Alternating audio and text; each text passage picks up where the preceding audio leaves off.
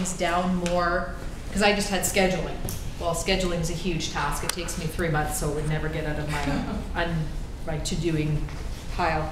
Um, so what I did was I added, uh, pink is scheduling stickies, and blue is orientation, green is convocation. My white ones, I were, they were bigger things, like caps. If anybody knows what caps is, they probably will curse me, but anyway, I know Jan will. Um, so caps is something that will actually take place of my pink stickies when I'm working on them in the fall. Um, because I'll have to break it down into program groups. So what it is, it's all the loadings of the, um, scheduling information into a system that we can use to do the scheduling information, but it's workloads, it's everything. So right now, it's just sort of white hanging over in the waiting on, because if we get a change, then we update caps, so like curriculum changes and things like that.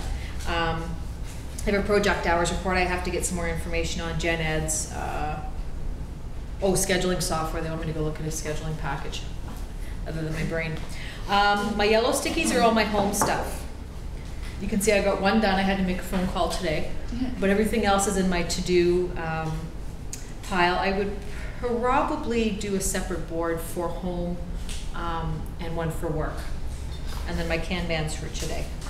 And uh, what are you most excited about?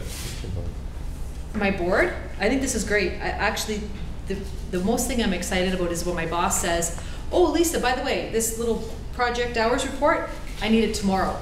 Then I put it here and I say, oh, but by the way, I'm not gonna get the schedules done for electrical because I need to work on this. So I think just time-wise, um, and he's actually very, you know, accept, is accept, blah, forgot the word. Um, you know, do you have time to do this? He's not gonna just say do it and drop everything else. So this way I just have a floor. I can say, I'm sorry, but I really don't have time because I don't say that often enough.